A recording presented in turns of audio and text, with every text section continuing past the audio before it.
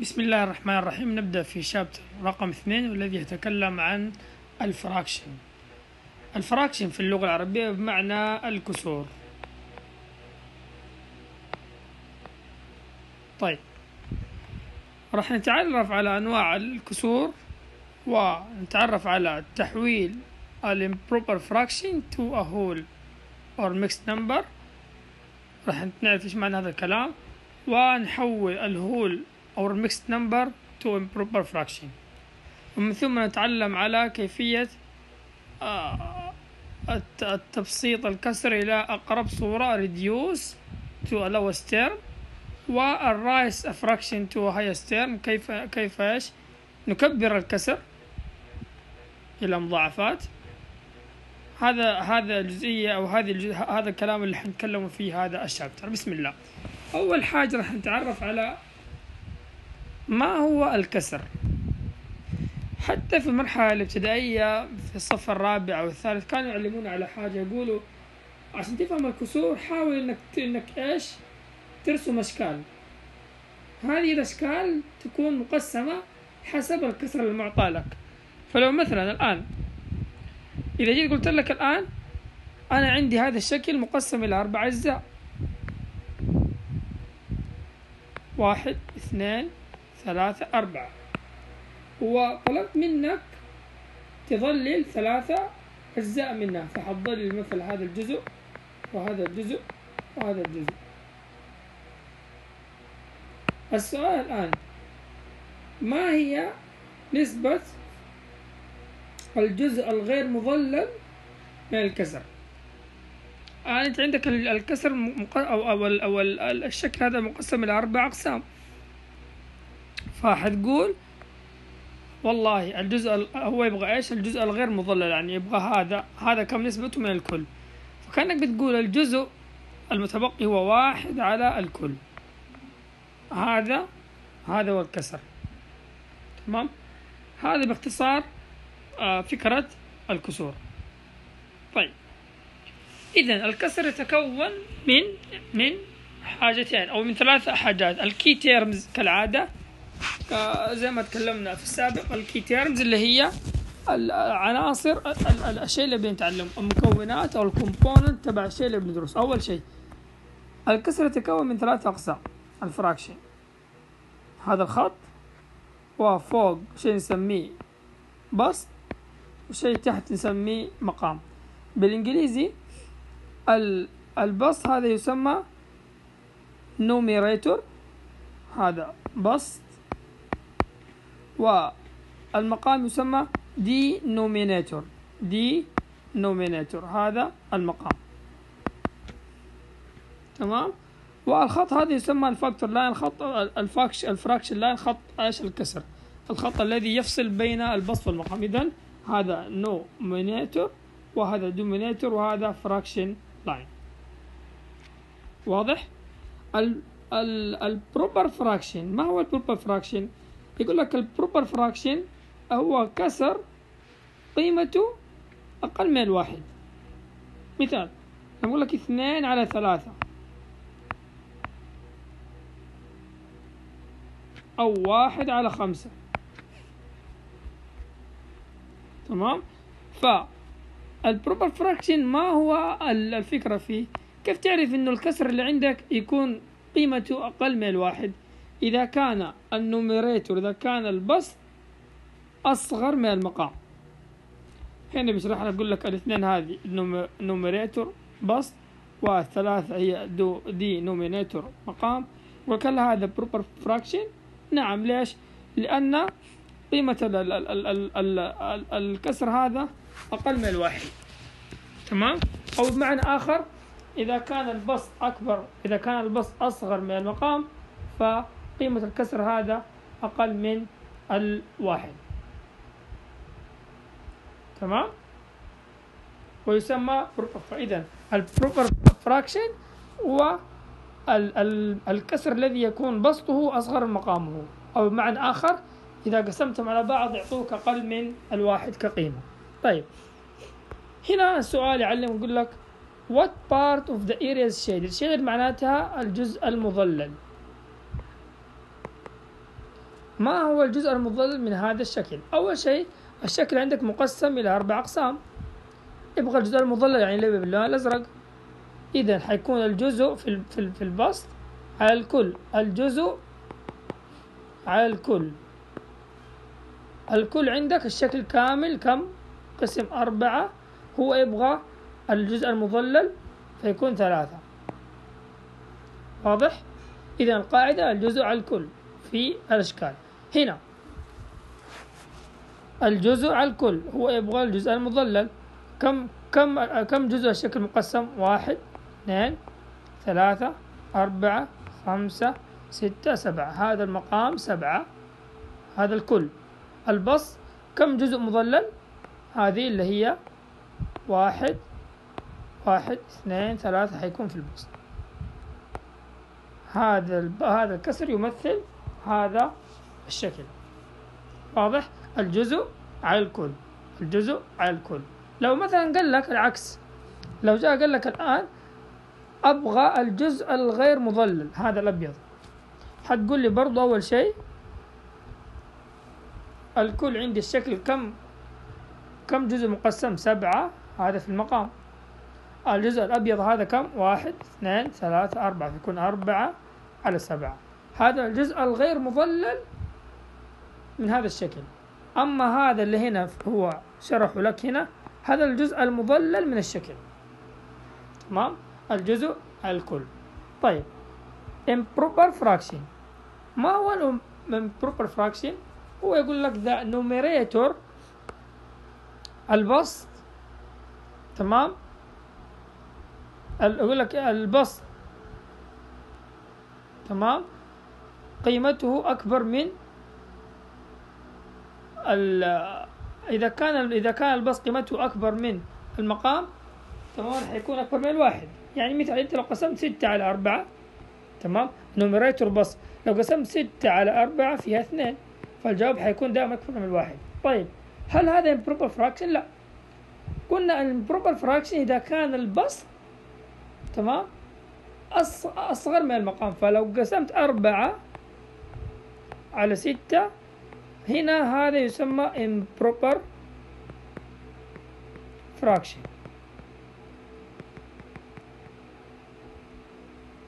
تمام؟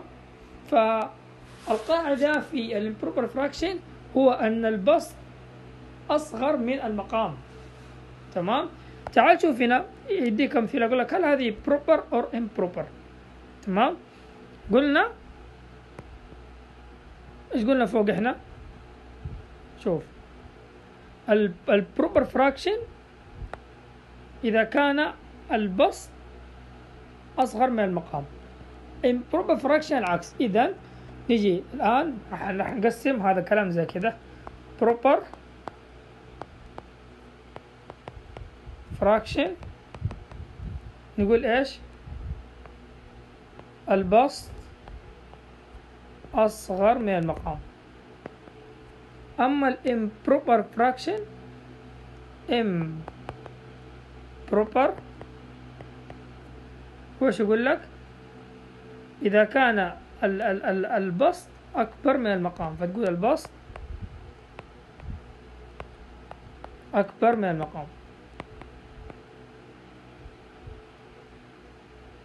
واضح؟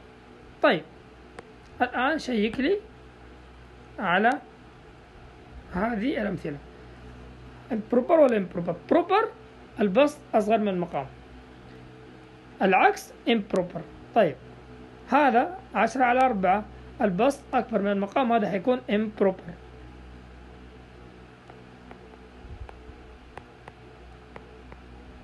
هذا البسط أصغر من المقام حيكون proper. هذا البسط أكبر من المقام حيكون إيش؟ Improper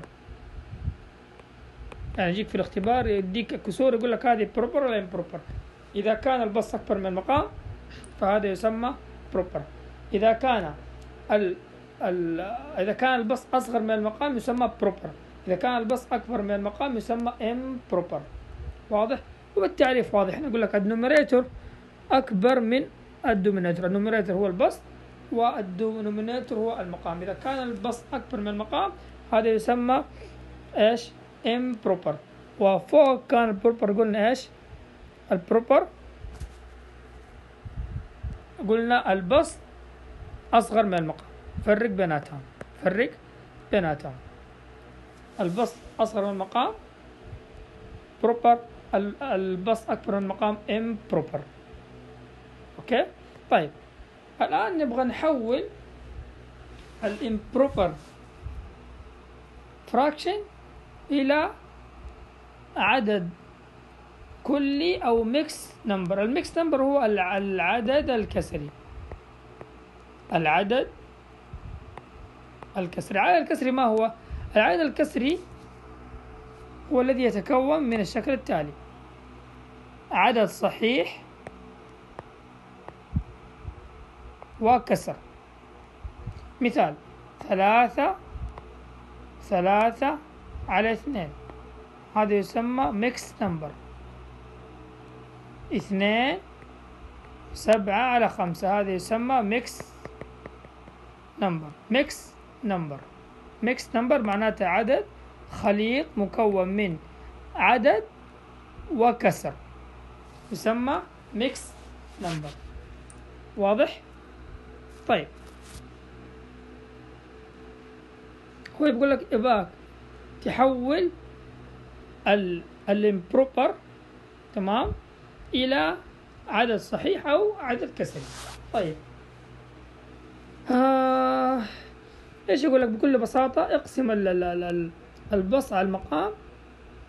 بعدين آه إذا كان في باقي ومن الكلام ده اكتبه. يعني باختصار الآن راح إيش؟ نعطيك مثال مثال يتضح المقال.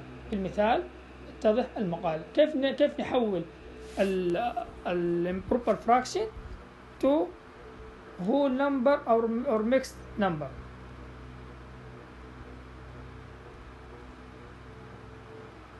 آه طيب بس دقايق. طيب. المثال هذا مية وعشرين على عشرة. مية وعشرين على عشرة. شوف كيف حنحول. نقول مية وعشرين نقسمها على عشرة. زي ما تعلمنا نبدأ من اليسار. الواحد أقل من العشرة ما ينفع نأخذ الرقم الثاني اثنين. صار 12 ال 12 أكبر من 10 نعم يمديني ما هو العدد الذي ضربته في 10 يعطيني؟ 12 أو إيش؟ أو أقرب من أو أقل أقل منه ما عندي إلا 10 في واحد لأنه 10 في 2 ب 20 فأقول أضرب 10 في واحد ب 10 12 ناقص 10 2 الآن هل في رقم الآن جنب ال 12 جنب جنب الرقم هذا؟ نعم أنزل هذا الرقم. الآن. ما هو الرقم الذي ضربته في 10 يعطيني 20 أو أقل منه 10 في 2 فاكتب هنا 2 ثم أضرب 2 في 10 ب 20 أطرح الآن 20 ناقص 20 صفر. بأن الباقي صفر خلاص انتهى حل إذا هذا هو الجواب. الجواب 12 والباقي صفر. الجواب 12 طيب هذا مثال بسيط. طيب تعال نأخذ هذا المثال الثاني. 139 نقسمها أو 119 نقسمها على ثلاثة. 119 أقسم على ثلاثة. نبدأ كالعادة. نأخذ أول رقم من اليسار. هل الواحد يقبل القسم على ثلاثة؟ لا. دام أصغر من الثلاثة نروح للرقم اللي بعده. ما هو الرقم الذي بعده؟ واحد. ثم نأخذ الرقم كامل. هذول الاثنين. 11 هل ال 11 أكبر من الثلاثة؟ نعم. يعني تقبل القسم على ثلاثة. يمدينا أقسم على ثلاثة. إذا كان الرقم على اليمين أكبر من الرقم على اليسار يمدينا أقسم يلا ثلاثة. ما هو الرقم الذي ضربته في ثلاثة؟ يعطيني 11 أو أو أقل منه. جدول الثلاثة. عندك الثلاثة ضرب أربعة ب 12 أقل منها ثلاثة في ثلاثة. إذا حتقول هنا ثلاثة. تكتب ثلاثة فوق. اضرب ثلاثة الآن في ثلاثة. كم يعطيك؟ تسعة. تكتب التسعة هنا شوفوا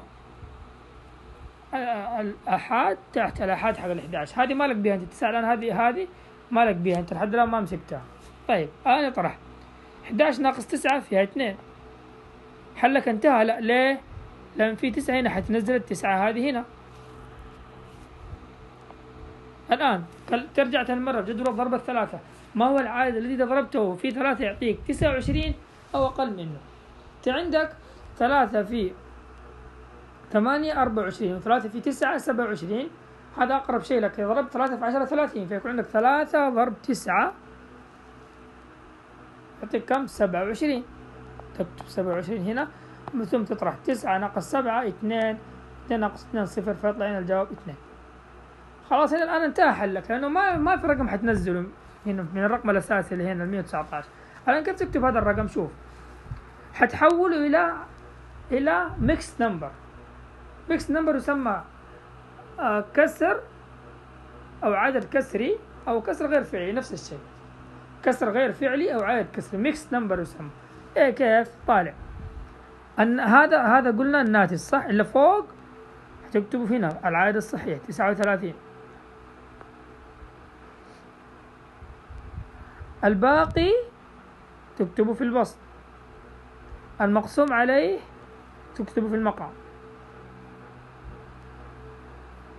هذا الناتج. هذا الباقي. وهذا المقسوم عليه. إذا كيف أحول؟ اكتبها هنا. نوضحها بشكل أفضل.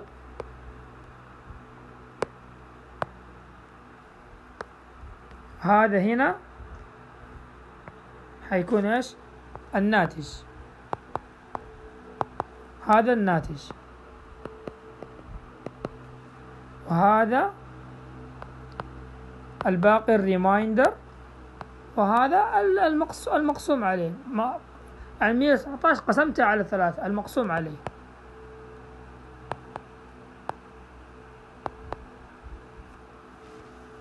طيب. هنا كيف حتكتبوا هذا الناتج. وهذا الباقي. وهذا إلا على يسار الكرسي المقسوم عليه. تمام؟ طيب نأخذ مثال آخر.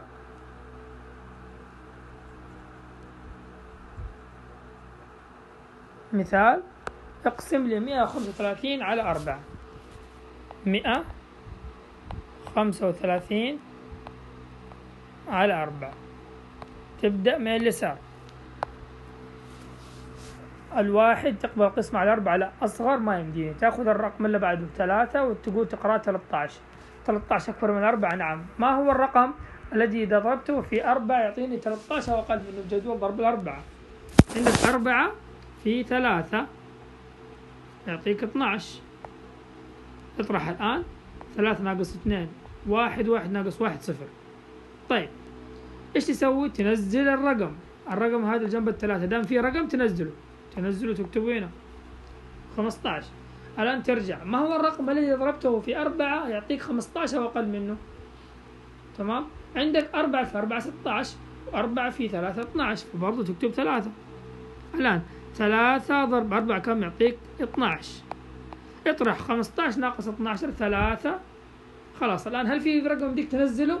لا. خلاص تقف هنا. طيب. كيف حتكتب هذا الرقم؟ قلنا هذا اللي فوق تكتبه يسار الكسر هو العائد الصحيح. بعدين الباقي يكتب فوق. المقسوم عليه هذا يكتب تحت. واضح؟ واضح كيف قسمنا؟ طيب. هنا يبغاك تكتب ال mixed number as improper fraction الآن هذا يسمى mixed number عدد كسري مكون من عدد صحيح وكسر. أنا كيف أرجع أحوله إلى improper fraction improper fraction تو تكلمنا عليها. قلنا إيش؟ اللي هو آه أبسطه أكبر من مقامه. كيف؟ أبى أرجع بالطريقة العكسية أنا حولت من من ع... من كسر إلى إلى عدد كسري أنا أبغى أحول العدد الكسري إلى كسر كسر عادي. بسط مقام كيف؟ شوف طريقة جدا سهلة. طريقة جدا سهلة. أديك مثال. على طول تفهم الفكرة. عشرة ثلاثة على أربعة. هذا إيش؟ هذا mixed number يجيك سؤال اختبار يقول لك convert هذا الرقم إلى improper fraction يعني يبغاك تحوله إلى كسر. بصوا مقام. كيف تسوي؟ شوف بكل بساطة. الخطوات كالتالي. اضرب هذا العدد في المقام. ومن ثم الناتج اجمعه على البسط. مع نفس الكس مع نفس المقام. أعيد. اضرب العائد الصحيح هذا في المقام. واجمع عليه البسط مع نفس المقام. يعني الناتج الآن تضرب عشرة في أربعة أربعين زائد ثلاثة ثلاثة أربعين هذا الناتج تكتبه في البسط مع نفس المقام. المقام كم؟ أربعة تكتب أربعة. أعيد. اضرب العدد الصحيح هذا في المقام. ثم اجمعه على البسط والناتج اكتبه في البسط مع نفس المقام. هنا عشرة ضرب أربعة أربعين زائدا ثلاثة ثلاثة وأربعين على أربعة. واضح؟ أهو شوف. أديك مثال ثاني مثلا أقول لك اثنين سبعة آه على اثنين. هذا حول لي إلى improper fraction. حتقول لي العدد الصحيح هذا اضربه في في المقام. يصير اثنين ضرب اثنين أربعة ويجمع عليه البسط. سبعة زائد أربعة حيكون كم؟ إحدى عشر على نفس المقام. واضح؟ أديك مثال ثاني. آه ثلاثة واثنين على ثلاثة. يلا حول لي إياه إلى improper fraction أو whole number. اضرب هذا العدد في المقام. وزيد عليه البسط والناتج اكتبه في البسط مع نفس المقام. ثلاثة في ثلاثة كم؟ تسعة. تسعة زائد اثنين كم؟ أحد عشر على نفس المقام. كده حولته إلى كسر عادي. اللي هو improper fraction. واضح؟ طيب. هنا نأتي للجزئية الأخرى reduce a fraction to a lowest term. تبسيط الكسر إلى إلى أو كتابة الكسر إلى أبسط صورة.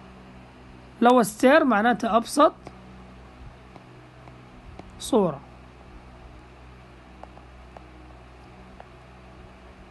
reduce معناتها تقريب أو تقليل الفراكشن الكسر إلى أقرب صورة.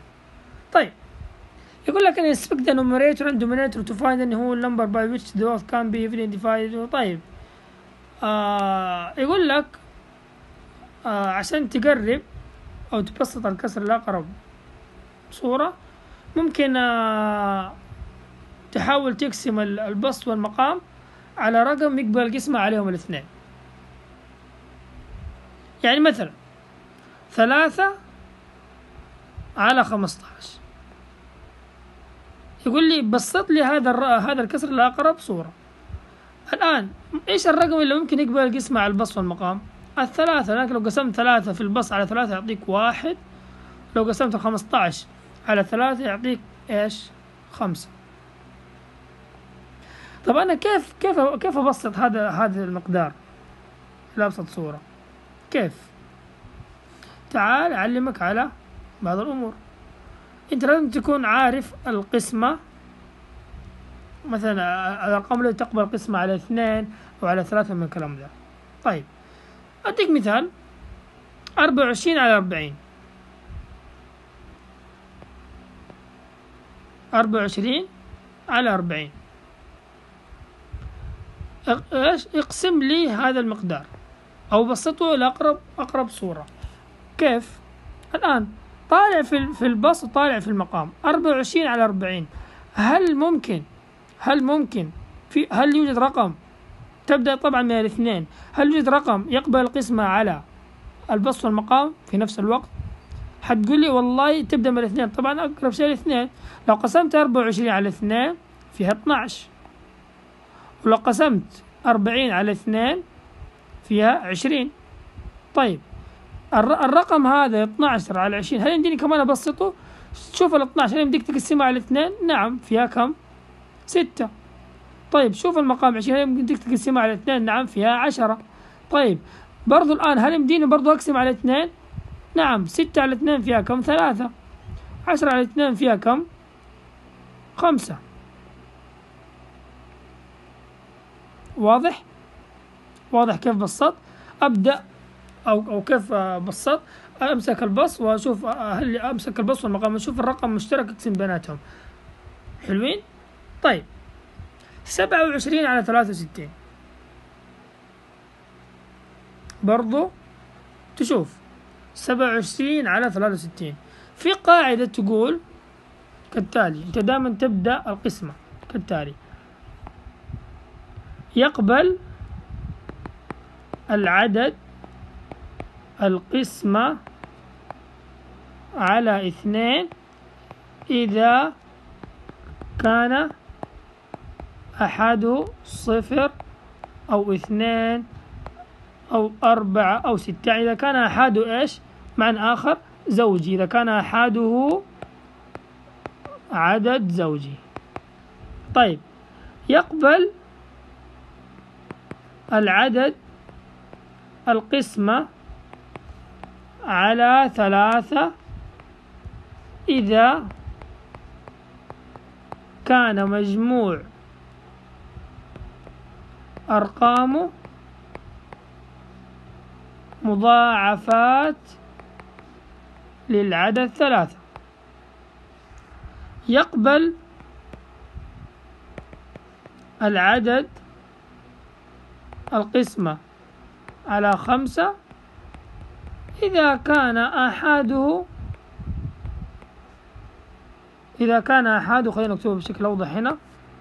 إذا كان أحده صفر أو خمسة.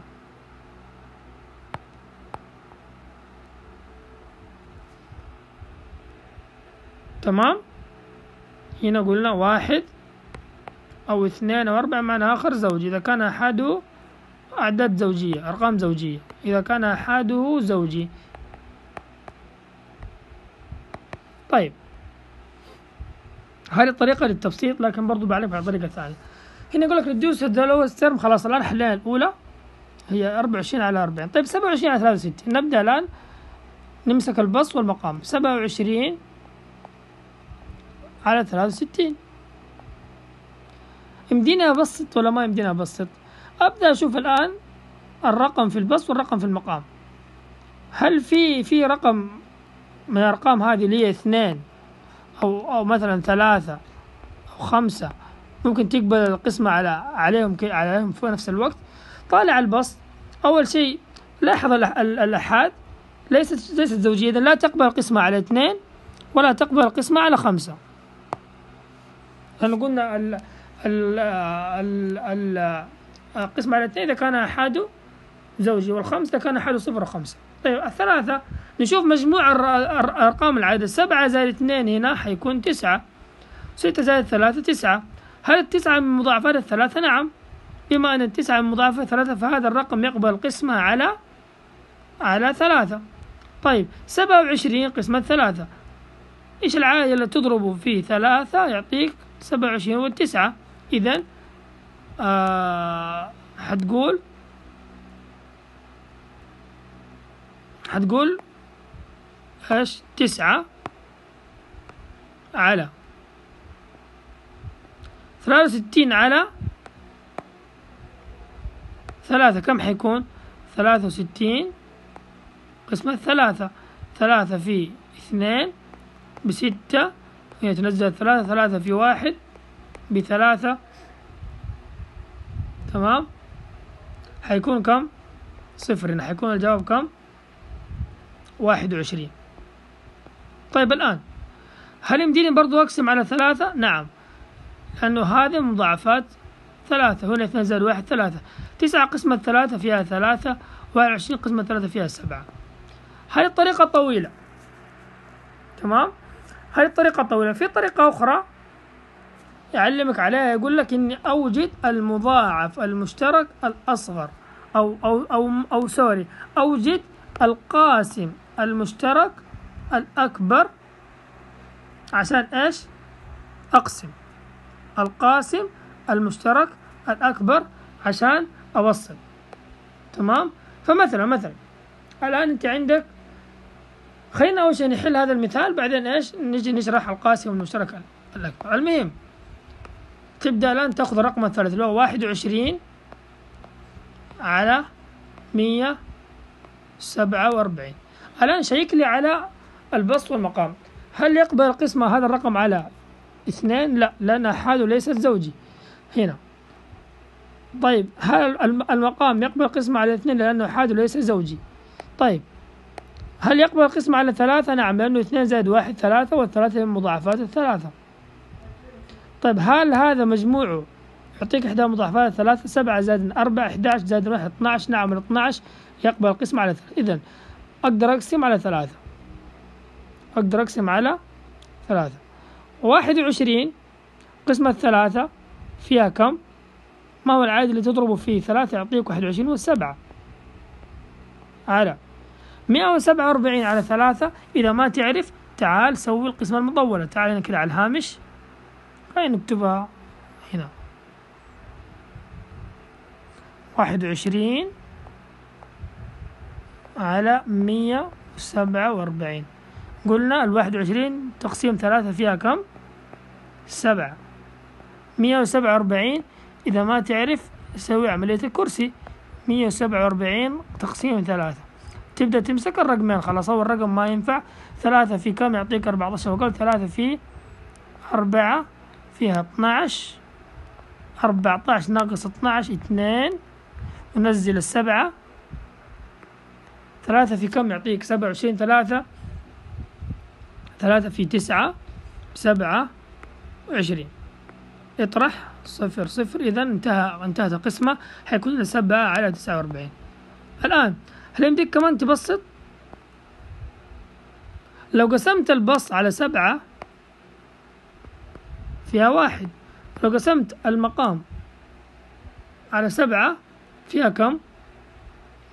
شوف هنا. فيها سبعة. إذا هذا أبسط هذا الكسر هو أبسط صورة. يمديك خلاص ما يمديك تقسم أكثر من كذا. واضح؟ القاسم المشترك الأكبر باللغة الإنجليزية يسمى Greatest Common Divisor. GCD اختصاره GCD يقول لك أفضل الطرق لتبسيط الكسور هو عن طريق إيجاد القاسم المشترك الأكبر للمقامات. أو إيجاد القاسم المشترك الأكبر نعم للمقام يقول لك the GCD is the largest number by which the denominator and the numerator can be evenly divided. القاسم المشترك الأكبر هو أكبر رقم يمكننا أن نقسمه على البسط والمقام في هذا الكسر مثال القاسم المشترك الأكبر للخمسة عشر وعشرين يساوي خمسة. كيف جبناهم؟ عندنا طرق عديدة. إحدى هذه الطرق التحليل إلى عوامل أولية. فسؤال هنا يبغى القاسم المشترك الأكبر الجي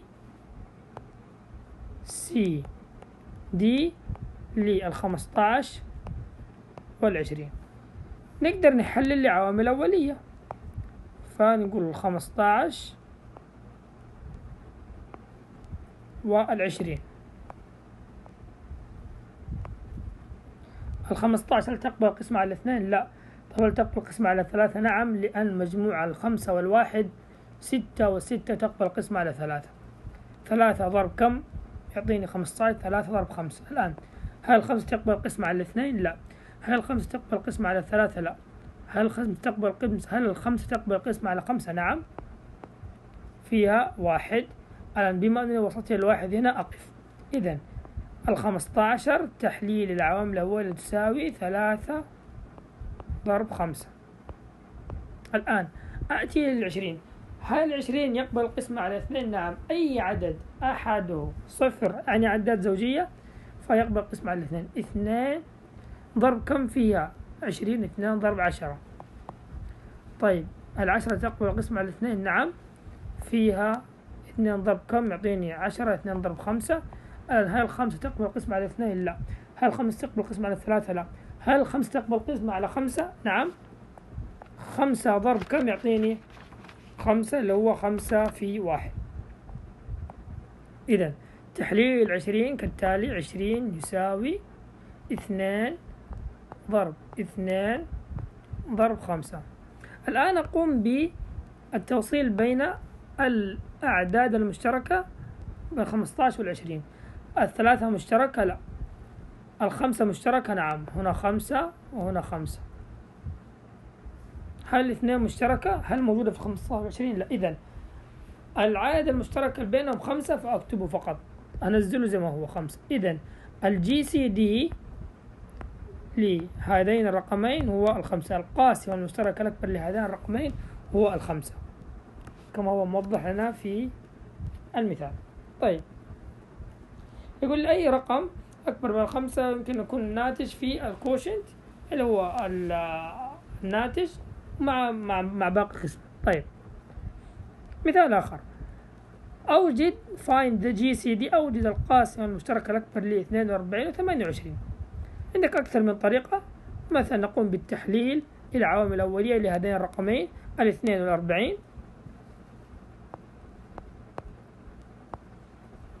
والثمانية وعشرين. نقوم بالتحليل من العوامل الأولية. طيب. نبدأ بالاثنين. هل الاثنين يقبل القسمة على الاثنين وأربعين نعم. ليش؟ لأن أحاده زوجي. إذا اثنين اثنين ضرب كم يعطيني؟ أربعة اثنين. واثنين ضرب كم يعطيني؟ اثنين اثنين في واحد. الآن الواحد وعشرين تقبل القسمة على اثنين؟ لا. لماذا؟ لأن أحدها ليس زوجي. طيب هل تقبل القسمة على ثلاثة؟ نعم. لأن مجموع العدد كامل يعطيني مضاعفات الثلاثة واحد زائد اثنين ثلاثة والثلاثة تقبل القسمة على ثلاثة. إذا تقبل القسمة على ثلاثة. الآن ثلاثة ضرب كم يعطيني واحد وعشرين؟ ثلاثة في سبعة. أكمل. الآن هل السبعة تقبل القسمة على اثنين؟ لا. هل تقبل القسمة على ثلاثة؟ لا. هل تقبل القسمة على خمسة؟ لا. هل تقبل القسمة على سبعة؟ نعم. سبعة ضرب كم يعطيني؟ سبعة؟ سبعة في واحد. وصلت إلى الواحد. أقف. إذا الاثنين وأربعين تحليلها كالتالي اثنان ضرب. ثلاثة ضرب سبعة. نأتي ثمانية وعشرين. تقبل قسمة على الاثنين نعم لماذا لأن أحدها زوجي. إذا اثنين وأمسك العدد. أمسكه من اليسار اثنين في كم؟ يعطيني اثنين اثنين في واحد. بعدين ثمانية اثنين ضرب كم؟ يعطيني ثمانية اثنين ضرب أربعة. الآن نأتي ل 14 هل 14 تقبل قسمة على الاثنين نعم. لماذا؟ لأن أحدها زوجي. اثنين. الآن اثنين ضرب كم؟ يعطيني 14 اثنين في سبعة. الآن بما أن السبعة أكبر من الاثنين لا يقبل القسمة على اثنين ولا يقبل القسمة على ثلاثة ولا يقبل القسمة على خمسة. هي الأعداد الأولية. نأتي للسبعة نعم نقبل القسمة على سبعة. سبعة ضرب كم؟ يعطيني سبعة واحد. ونقف هنا خلاص وقفنا عند الواحد. الآن تحليلي لثمانية وعشرين كالتالي.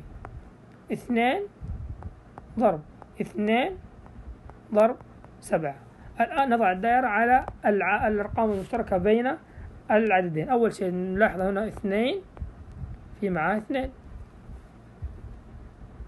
نلاحظ السبعة في شبيه لها. طيب هل الثلاثة لها شبيه؟ لا. طيب الاثنين الثانية لها شبيه؟ لا. تأخذ تأخذ رقم مكرر بيناتهم. حبة حبة. إذا في رقم مكرر ثاني تأخذه.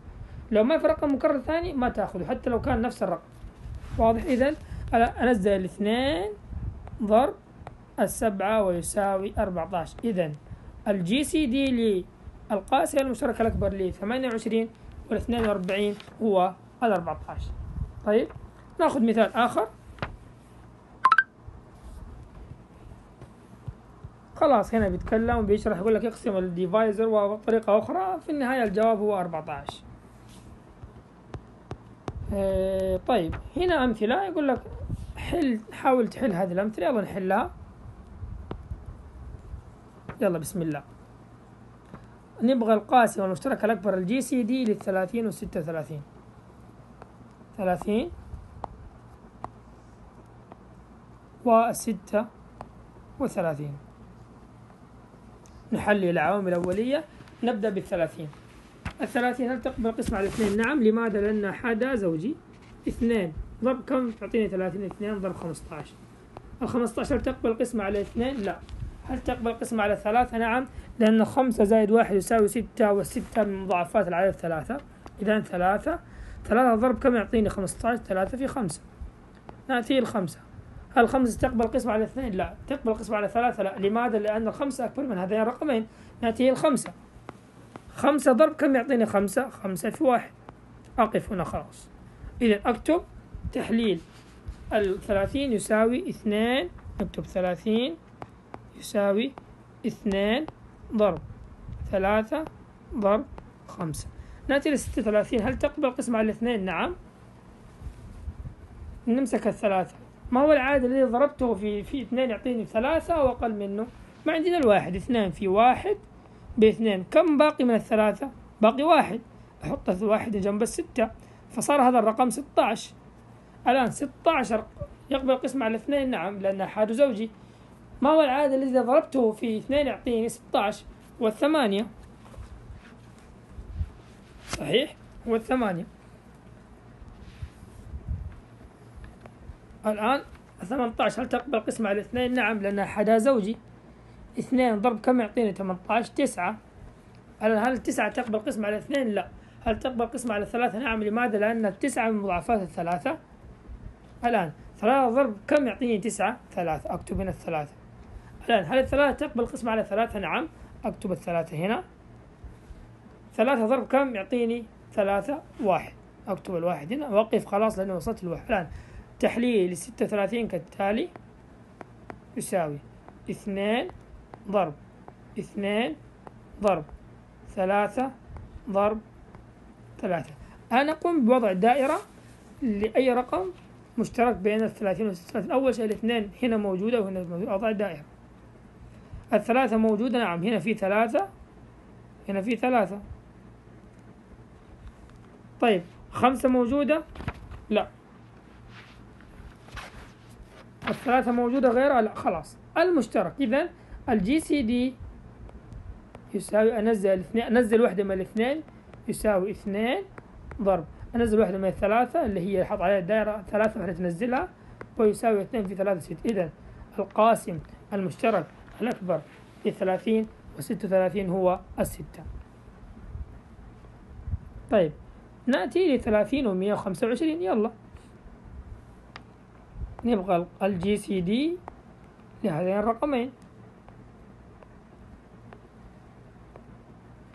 ثلاثين تقبل قسمة على اثنين. نعم لماذا؟ لأن أحادها زوجي. هذا خلاص حللناها قبل شوية قبل شوية اثنين في خمسة هنا ثلاثة في خمسة هنا خمسة في واحد. والثلاثين قلنا عبارة عن اثنين في ثلاثة في خمسة. نحلل خمسة وعشرين. هل الخمسة وعشرين تقبل قسمة على اثنين؟ لا. هل تقبل قسمة على ثلاثة؟ لا لأنه خمسة زائد ستة زائد خمسة زائد اثنين زائد واحد يعطيني ثمانية والثمانية ليس من مضاعفات العدد ثلاثة. طيب خمسة هل تقبل قسمة هل هذا رقم يقبل قسمة على خمسة؟ نعم لماذا؟ لأن أحد صفر أو خمسة. إذا خمسة. خمسة نمسك أول رقمين خمسة في كم؟ يعطيني 12 وأقل اثنين لأنه خمسة في اثنين بعشرة. ف حتقول إيش؟ هنا تكتب اثنين. كم باقي لك على 12 اثنين تكتبهم جنب الخمسة اللي هنا. الآن خمسة وعشرين تقبل قسمة على خمسة؟ نعم كم فيها؟ خمسة. الآن خمسة وعشرين هل تقبل قسمة على خمسة؟ نعم. كم فيها؟ خمسة ضرب كم يعطيك خمسة وعشرين؟ خمسة. بعده خمسة تقبل قسمة على خمسة؟ نعم. خمسة ضرب كم يعطيني خمسة؟ واحد.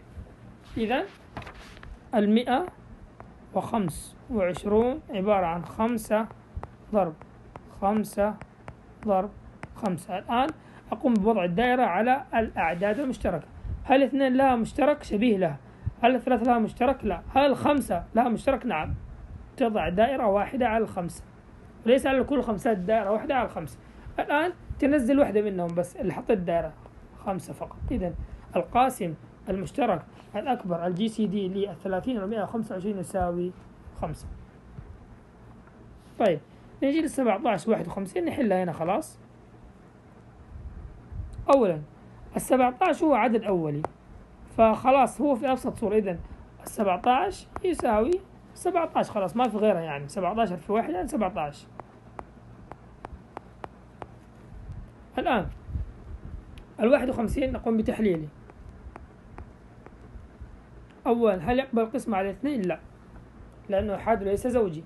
هل يقبل القسمة على ثلاثة؟ نعم. لأن مجموع الرقم يعطي مضاعفات ثلاثة. واحد زائد خمس ستة والستة من مضاعفات الثلاثة. إذا يقبل القسمة على ثلاثة.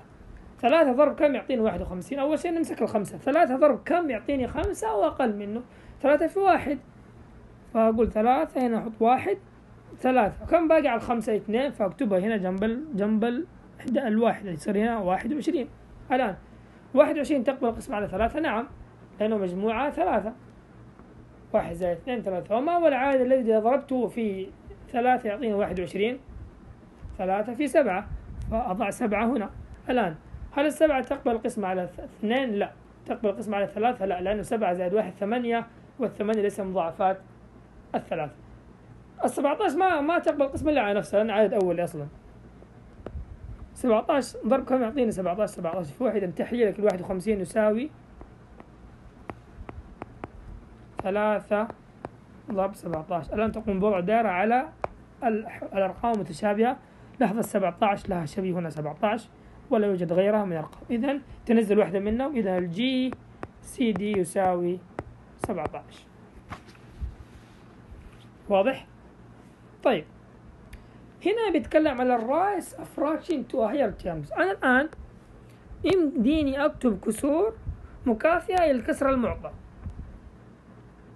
ال raise a fraction يعني رفع الكسر إلى إلى مضاعف أعلى له. higher معناتها أعلى. terms يعني إلى إلى إيش؟ terms يعني مثل تقول إلى إلى كسر مضاعف أعلى. اذا رفع نقدر نقول مضاعفات الكسور. مثال لو قال لي ثلاثة على أربعة تساوي وحط لك البسط هنا مجهول. والمقام ثمانية. وسألك السؤال التالي. الآن أنا أضع رقم هنا في مكان هذا الفراغ حيث أن يكون مكافئ للكسر اليسار. كيف تعرف؟ طالع المقام. المقام عندك في الكسر الأول كان أربعة وصار ثمانية.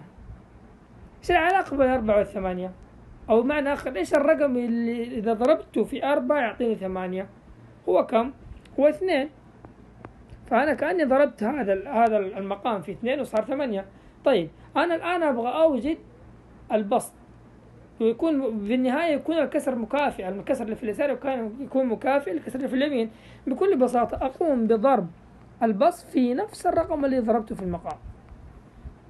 ضربت في اثنين في المقام أضرب في اثنين في البسط ضربت في خمسة أضرب في خمسة في البسط ضربت في عشرة في المقام أضرب بعشرة في البسط فثلاثة ضرب اثنين كم يعطيك ستة. إذا الستة على ثمانية هو equivalent. هذا ال هذا الكسر الفراكشن مكافئ للكسر الأول وهو مضاعف. يسمى هاير أنا رفعت هذا الكسر إلى هاير تيرمز تمام؟ طيب. آه مثال أربعة على خمسة. أربعة على خمسة. قال لي determine the equivalent احسب لي الكسر المكافئ للكسر المعطى in higher terms. equivalent fraction يعني كسر مكافئ أو مساوي. مساوي يعني مكافئ. in higher terms إيش؟ بإيش بمضاعف. higher terms بمضاعف يعني. أربعة على خمسة يساوي وأعطاك المقام خمسة وعشرين ويباك تكتب البسط. الآن طالع في الخ... في المقام في المقام الكسر الأول خمسة. صارت خمسة وعشرين. يعني خمسة ضرب كم تصير خمسة وعشرين؟ إيش العادي اللي ضربت أنت ضربته في خمسة ونتج لك المقام الثاني؟ هو خمسة فتقول كأنك هنا ضربت خمسة في المقام في خمسة. وإذا ضربت عدد في المقام لابد أن تضرب نفس العدد في البسط أربعة ضرب خمسة يعطيك عشرين. يعطيك عشرين. طيب شوف المثال الآخر. سبعة على ثمانية. وأعطاك هنا المقام أربعين. ما هو العدد الذي ضربته في ثمانية يعطيك أربعين؟ خمسة صح؟ الآن أقوم بنفس العدد هذا أضربه في البسط سبعة في خمسة ويعطيني خمسة وثلاثين. إذا هذا الكسر equivalent للكسر اللي على اليسار. آخر مثال ثلاثة على خمسة. ماذا يكافئ هذا الكسر؟ هنا ستين. والمقام. ما هو العدد الذي إذا ضربته في خمسة يعطيني ستين؟ هو إيش؟ 12 لأنه خمسة في عشرة بخمسين وخمسة في 11 خمسة وخمسين وخمسة في وخمسة في 12 ستين ضربت هنا في 12 هذا أقوم بضرب البسط في نفس العدد ثلاثة في 12 يعطيك كم؟ ستة وثلاثين. هذا الكسر مكافئ لثلاثة على خمسة. واضح؟ نأتي إلى عملية جمع وطرح الكسور. عملية جمع وطرح الكسور تنقسم إلى قسمين. إما أن تكون المقامات موحدة معنى المقام يساوي نفس المقام أو أن تكون المقامات غير موحدة. طيب نبدأ في في أول جزئية. إذا كان ال ال ال ال الكسران أو مجموعة الكسور الفراكشن عندي بنفس المقام with like denominator بنفس المقام. بكل بساطة تجمع البسط مع البسط والمقام ما تغيره زي ما هو بس تجمع البسط مع البسط. تمام؟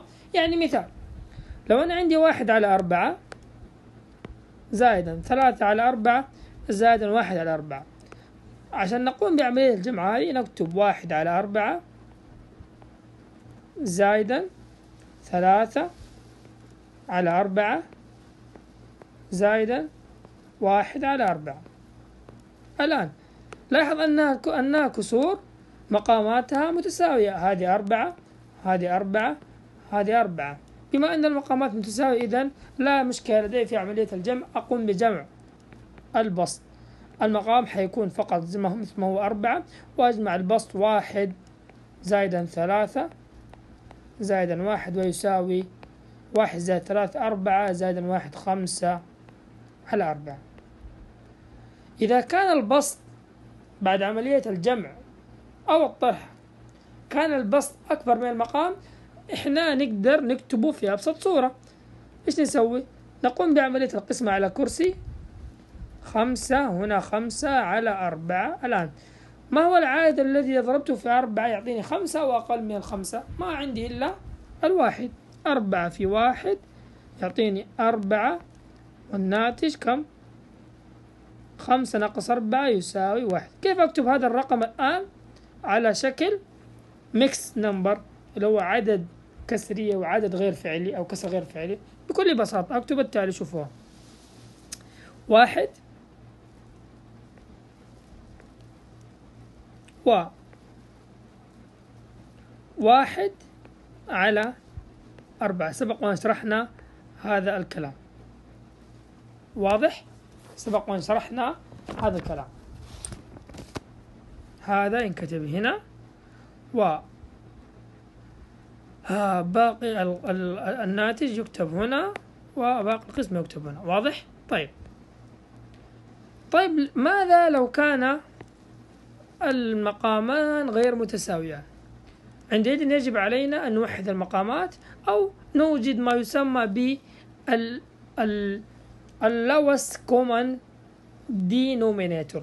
هذا يسمى lowest common denominator اختصار ال LCD أو المقام المشترك الأصغر أو يسمى نفسه المضاعف المشترك الأصغر. عندي أكثر من طريقة توحيد مقامات. أنا بس بشرحها لكم بنفس ال- في السلايدز يمديك توحد مقامات عن طريق يعني أكثر من طريقة. أتوقع يعني أنت في مرحلة تعرف كيف توحد مقامات. لكن آه تعريف يقول لك أصغر رقم يمكن أن يقسم إيش؟ آه الم- المقام الأصلي. مثال قال لي ثلاثة على أربعة وخمسة على ثمانية يباك إيش تجمع هذين الكسرين. طيب. ثلاثة على أربعة زائدا خمسة على ثمانية أول شيء تلاحظ هل المقامات موحدة؟ هل المقام هنا يساوي المقام اللي هنا؟ لا إذا ما أقدر ما أقدر أجمع لازم أوحد مقامات كيف أوحد مقامات؟ يمديك تضرب مثلا طرفين في وسطين طريقة المقص أو تضرب هذا في اثنين هنا مثلا كمثال أديك طريقة سريعة تضرب هذا المقام هنا في اثنين وهنا في اثنين فيصير عندك يساوي ثلاثة في اثنين ستة على ثمانية زائدا خمسة على ثمانية وتجمع البسط مع البسط ستة زائدا خمسة يصير 11 على ثمانية. ويمديك تبسط كمان بما أنه إيش؟ ال- البسط أكبر من المقام تقسم 11 على 8 ويطلع لك نفس الصورة واضح؟ هذه طريقة. هذه طريقة. في طريقة أخرى في طريقة أخرى يعني ال شو اسمه؟ ال- الكتاب شرحها اللي هي إيش؟ عن طريق ال- التحليل العوامل الأولية. التحليل إلى عوامل أولية. كيف تحلل إلى عوامل أولية؟ كيف تحلل عوامل أولية؟ الآن نفس هذا المثال. هذا المثال الآن اللي هو الثلاثة على أربعة. خلاص إحنا عارفين 11 على 8 يمديك تبسط كمان. إلى- تسوي عملية الكرسي وتخلي الكسر هذا إلى كسر ميكست طيب. الكسر عندنا ثلاثة على أربعة زائدا خمسة على ثمانية. إيش نسوي؟ نحلل. نحلل الأربعة إلى عوامل أولية والثمانية. نحلل المقامات يلا. هنا على اثنين فيها اثنين على اثنين فيها الواحد وهنا على اثنين يعطيني أربعة وهنا على اثنين فيها اثنين وعلى اثنين فيها الواحد. تمام؟ هيا شوف كيف توحد المقامات الآن. تعالوا اكتب الأربعة. إيش تساوي؟ اثنين ضرب اثنين. هذا العمود. تعال شوف الثمانية. الثمانية عبارة عن اثنين ضرب اثنين ضرب اثنين. في في القاسمة المشتركة الأصغر المقامات تأخذ المشترك تضربه مع, مع تضربهم وغير المشترك. يعني إيش؟ طالع الآن. فين المشترك عندك؟ هنا اثنين أول شيء اثنين مع اثنين بس. في اثنين ثانية نعم.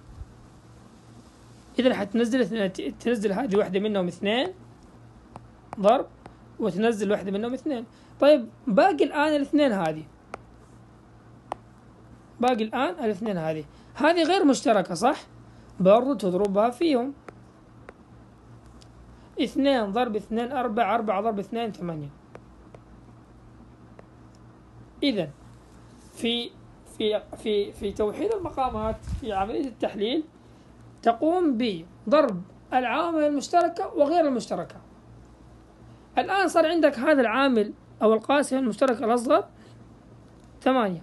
يعني تجي الآن الكسور عندك. أنت لازم تخلي كل الكسور مقاماتها ثمانية. هذا الكسر مقامه ثمانية خلاص تمام. ما يحتاج تعدي عليه تعال هنا. هذا الكسر أربعة. كيف تح- تحل تخلي المقام ثمانية؟ ما هو العامل الذي إذا ضربته في أربعة يعطيك ثمانية تضرب هنا في اثنين. مقاما وبسطا وزي ما شرحنا قبل شوية حيطلع الجواب 11 على 8 واضح؟ في في إيجاد القاسمة المشتركة الأصغر ال LCD بعد التحليل تأخذ المشترك وغير المشترك. تضربهم في بعض. تمام؟ طيب. تعال نشوف مثال. Find the LCD for 4 over 5 and 1 over 2 and 1 over 8 تمام؟ يبقى توجد القاسم المشترك الأصغر لهذه الكسور من ثم تقوم بعملية الجمع لهم. LCD طيب. نكتب الكسور. أربعة على خمسة زائدا واحد على اثنين زائدا واحد على ثمانية. الآن يمديك تحلها بالطرق اللي تعرفها لكن أنا بحلها بطريقة التحليل. نأخذ كل مقام ونقوم بتحليل العوامل الأولية الخمسة الخمسة تحليلها خمسة في واحد. ما في إلا هي لأن أصل الخمسة عدد أولي. الاثنين عدد أولي ما في إلا اثنين في واحد. يعني كتبت الواحد وما كتبته ما يضر. يعني لا تكتب الواحد عادي خلاص. خمسة الخمسة والاثنين عوامل أولية. نكتب الخمسة يعني خمسة هنا كذا اثنين. الثمانية تحليلها. اثنين ضرب أربعة واثنين ضرب اثنين واثنين ضرب واحد. الثمانية تساوي اثنين ضرب اثنين ضرب اثنين. الآن نقوم بوضع دائرة على العوامل المشتركة. هنا عندي اثنين واثنين. طيب السؤال هنا هل لابد أن تكون العوامل المشتركة مثلا لو عندي ثلاث أرقام لازم الاثنين تكون في كل الأرقام؟ لا. إذا كان عندك مثلا خمس أرقام بتشوف العامل القاسم المشترك الأصغر لهم وكان عندك ثلاثة أرقام مشترك فيها الاثنين ورقمين ما هو مشترك فيها فعادي يعتبر برضه عامل مشترك. إذا تنزل هنا واحدة منهم اثنين. هل توقف؟ لا تقول ضرب. الآن إيش العوامل الثانية الغير مشتركة؟ عندك هنا الخمسة ما هي مشتركة تضرب في خمسة. في غيرهم نعم. هنا عندك الاثنين برضو ما هو مرتبط بشيء تضرب في اثنين. في غيره نعم. عندك الاثنين ده برضو مرتبط بحاجة تضرب في اثنين. إذا في القاسم المشترك الأصغر تقوم بأخذ العوامل المشتركة وغير المشتركة. اثنين في خمسة عشرة عشرة في اثنين بعشرين عشرين في اثنين يساوي أربعين. إذا لابد أن تكون جميع المقامات تساوي أربعين. تمام؟ إيش تسوي؟ تيجي الآن هنا. هنا تضرب في ثمانية عشان تخليها أربعين. تضرب في ثمانية عشان تخليها أربعين. هنا اثنين في كم؟ عشان يطلع لك أربعين. اثنين هنا في عشرين. تضرب هنا في عشرين. هنا ثمانية في خمسة تضرب تصير أربعين هنا في خمسة. الآن صار هذا الكسر التالي أربعة في ثمانية اثنين وثلاثين على أربعين. زائدا عشرين على أربعين. زائدا خمسة على أربعين. الآن المقامات موحدة. أجمع البسط مع البسط مع البسط مع نفس المقام. اثنين وثلاثين زائد عشرين يعطيك كم؟ اثنين وخمسين زائدا خمسة سبعة وخمسين. أنت كده حلك انتهى. سبعة وخمسين على أربعين. سبعة وخمسين على أربعين. لكن بما أن البسط أكبر من المقام يمديك تكتب الكسر هذا على شكل mixed number mixed number يعني عدد صحيح وكسر تقسم البسط على المقام بطريقة الكرسي. فكيف كنا نقسم بطريقة الكرسي؟ تقول هنا سبعة وخمسين على أربعين. الآن أربعين في واحد يعطيني أربعين. نكتب هنا واحد. هنا أربعين. سبعة وخمسين ناقص أربعين حيكون فيها كم؟ سبعة عشر. انتهى تحليلك الآن انتهى لأنه ما في عدد تقدر تنزل الآن كيف تكتب هذا الرقم اللي هو سبعة وخمسين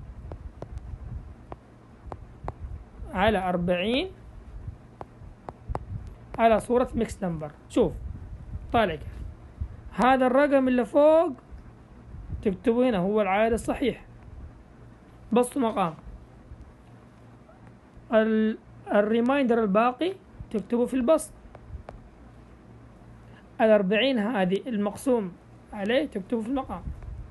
كذا أنت حولت هذا الكسر من fraction عادي إلى mixed number واضح؟ تأكد؟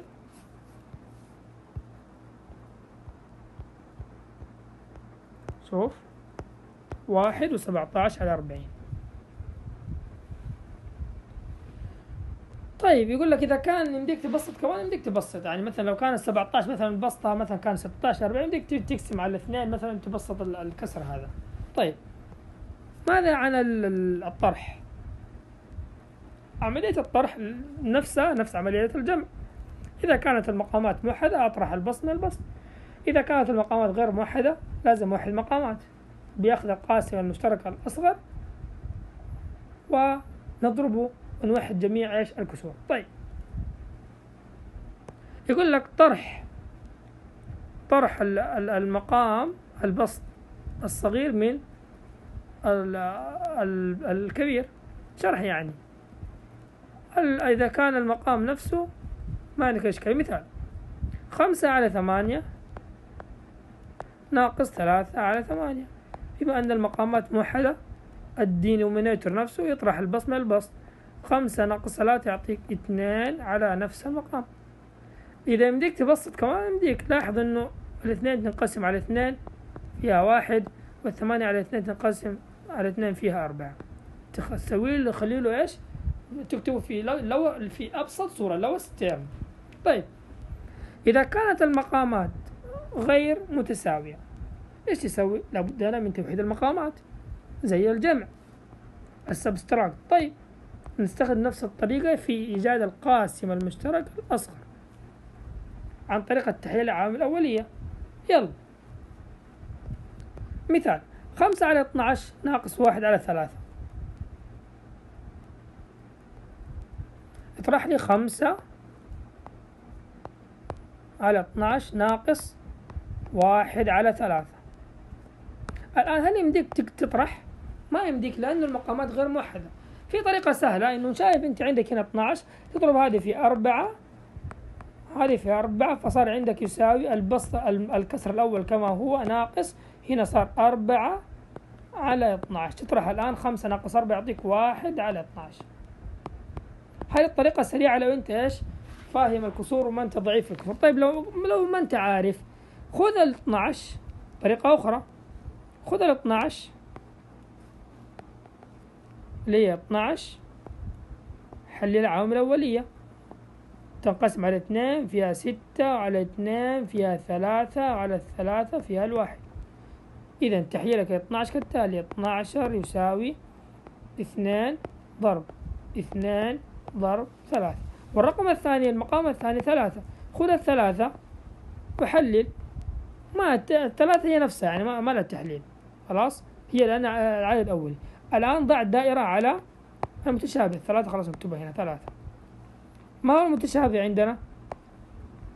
ذا. مع ذا. نزل. في غيرهم؟ لا. ضرب. مين مين الباقي؟ الباقي اثنين واثنين. هذول ما هم مشتركين. تكتبهم ها؟ في إيجاد القاسم المشترك الأصغر توحيد مقامات تكتبهم. الآن ثلاثة. في اثنين ستة ستة في اثنين 12 إذا القاسم المشترك الأصغر هو 12 شوف زي ما أنا تو كتبت هنا. حيطلع نفس الشيء. تيجي الكسر الأول مقام 12 تضرب هنا في في أربعة حيطلع الجواب واحد على 12 واضح؟ طيب. هاي تعال ناخذ هذه الأمثلة ونحل آه هذه الكسور. سبعة على ثمانية ناقص اثنين على ثلاثة. نبدأ بسم الله.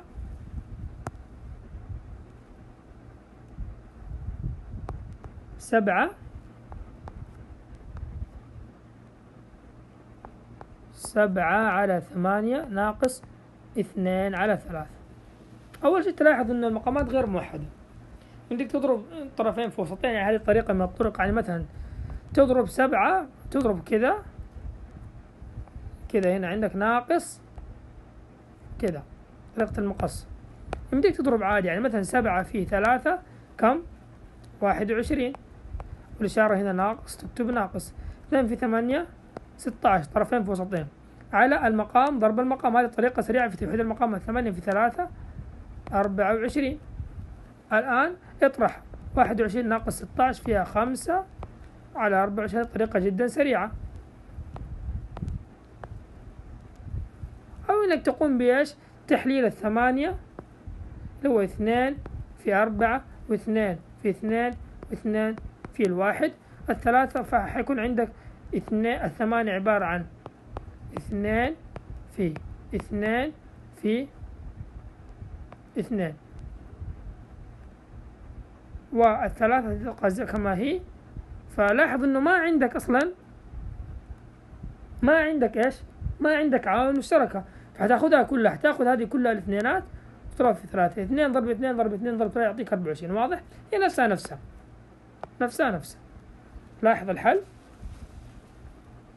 خمسة على أربعة وعشرين. اثنين على ثلاثة ناقص واحد على خمسة يلا. خلينا نحلها هنا. آه اثنين على ثلاثة ناقص واحد على خمسة.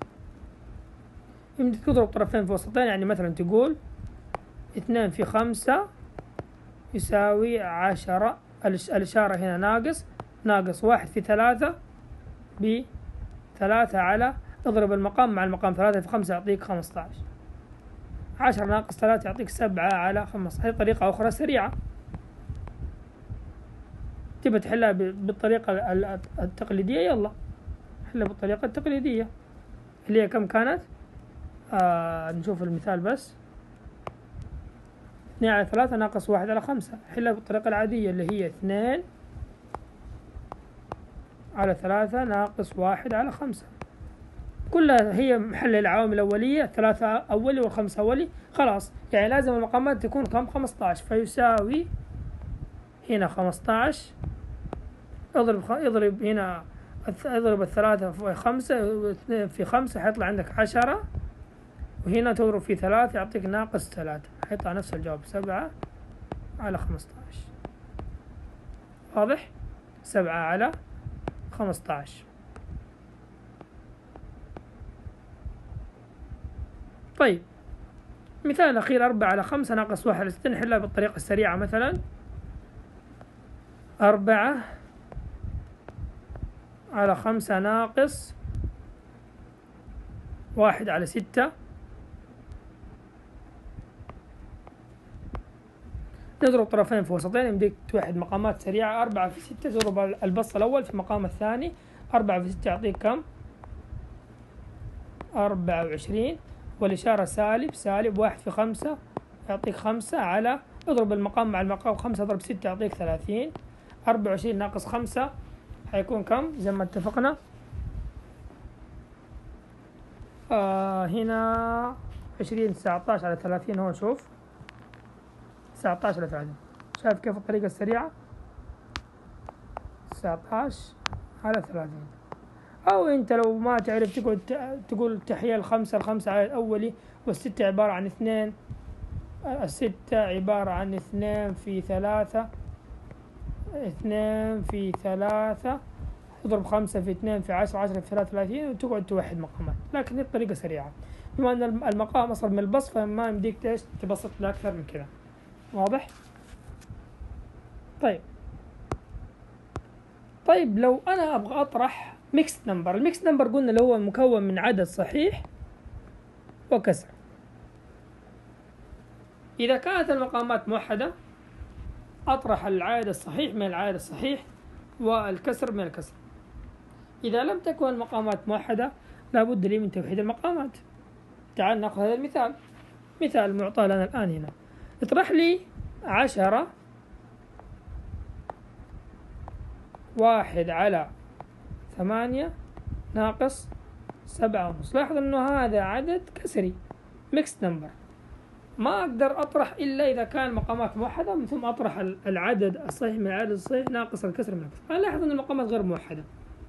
طالع في الكسور المقامات غير موحدة لازم توحد مقامات يا إما تحلها بالطريقة العادية إنك إيش؟ تروح آه تروح إيش؟ تاخذ الكسرين تشوف إيش العدد مثلا هنا ثمانية هنا اثنين. إيش العدد اللي تضربه هنا عشان توحد مقامات؟ فين تضرب هنا في أربعة في الكسر وهنا في أربعة. يصير عندك يساوي الكسر الأول عشرة واحد على ثمانية ناقص السبعة. البسط هنا صار أربعة على ثمانية. الآن بما أن المقامات موحدة أطرح العدد الصحيح مع الصحيح. عشرة ناقص سبعة يعطيك ثلاثة. تمام؟ آه دقيقة بس دقيقة. ركز الآن قبل ما تطرح لاحظوا الأعداد ما فيها مشاكل لكن لاحظ البسط هنا واحد ناقص أربعة. ما يمديني أطرح عدد الصغير من عدد الكبير حيطلع سالب. ما ينفع إيش أسوي؟ حآخذ واحد من العشرة هذه وأضيفها للكسر هذا. يعني العشرة أخذت منها واحد صارت تسعة. وواحد على ثمانية أزود عليه واحد اللي أخذته من العشرة إذا قلت لك واحد على ثمانية زائد واحد إيش تسوي؟ في طريقة جدا سهلة. اجمع البسط على المقام مع نفس المقام. لو قلت لك اجمع واحد على كسر اجمع البسط على المقام مع نفس المقام. واحد زائد ثمانية تسعة على ثمانية. حيصير هذا الكسر تسعة وتسعة على ثمانية ناقص سبعة أربعة على ثمانية. خلينا نحلها لك بالتفصيل عشان تفهم الفكرة. الفكرة كانت كالتالي. أول شيء عشرة واحد على ثمانية ناقص سبعة ونص. شوفوا. عشرة واحد على ثمانية ناقص سبعة ونص. أول شيء طالع طالع في الكسور. طالع في الكسور. الكسر هذا مقام ولا يساوي المقام هذا فما يمدينا أطرح أول شيء. أول شيء لازم واحد مقامات. يمدينا أضرب الكسر هذا هنا في أربعة. عشان يصير زي الكسر هذا وأضرب هذا الكسر في أربعة. صح؟ أو يمدينا آخذ الثمانية والاثنين وأحلهم على جنب بعدين إيش واحد مقامات؟ فيصير عندي يساوي عشرة واحد على ثمانية ناقص السبعة ما هي واحد في أربعة أربعة على ثمانية. الآن المقامات مو حد أطرح. لما أطرح العدد من العدد ما في مشاكل. لكن لما أطرح البسط من البسط شوف واحد ناقص أربعة ما يمديني. حيطلع على السالب. ممنوع ما ينفع. إيش أسوي؟ أستلف من العدد الأول هذا هنا شوف. هنا.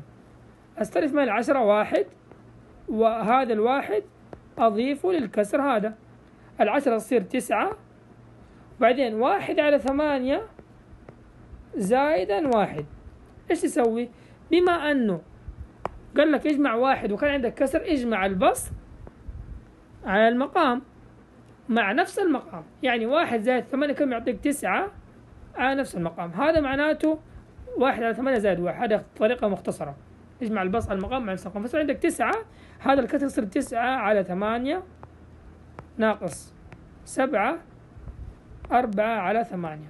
الآن لاحظ يمدينا أطرح العدد من عدد والبسط من البسط وما يكون رقم سالب. تسعة ناقص سبعة يعطيك كم؟ اثنين. والمقام موحد. تسعة آه ناقص أربعة يعطيك خمسة واضح؟ أوه شوف هنا. اثنين وخمسة على ثمانية. يقول لك reduce to lowest to lowest term بسط نفس الصورة إذا كان إذا يمديك يعني. إذا ما يمديك خلاص خمسة ما ما ما تبسطها وثمانيه تبسطها خلاص. آه شوف هذا المثال يقول لك ماريا has 6 و 6 1 8 cups of flour يعني لها عندها آه ستة وستة أكواب ثم ستة وواحد على ثمانية كوب من من الدقيق والطحين but only needs هي تحتاج أربعة وربع من الأكواب للشيء اللي بتسويه. المكون لها السؤال how much will she have left كم الكمية اللي هي إيش؟ سابتها هي عندها ستة واحد ثمانية لكن هي فقط إيش؟ احتاجت أربع وربع. طيب كم كم الباقي؟ معناتها لما قال لك ها how much left كلمة left هذه معناتها طرح. طيب. يطلع ستة وواحد على ثمانية ناقص أربعة وربع يلا. ستة. ستة. واحد على ثمانية ناقص أربعة وربع. ليه؟ طرحنا لنا قال ليفت الآن. المقامات ليست موحدة. لابد لي توحد المقامات. فيمديني أضرب هذا المقام في اثنين وهذا المقام في اثنين وهذا البسط في اثنين. يساوي الكسر الأول كم هو ستة واحد على ثمانية ناقص أربعة. هنا عندك واحد في اثنين باثنين على ثمانية. الآن لاحظوا المقامات موحدة لكن لاحظ في البسط.